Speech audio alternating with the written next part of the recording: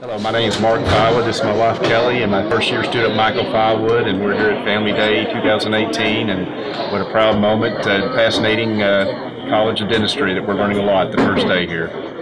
Uh, actually, having some hands-on uh, training for my future dentist here, and, watching him do it, and watching him, and, and being fascinated with all the all the skills he's already acquired in the short period. The most impressive thing is the crown that he made out of gold. That was really nice.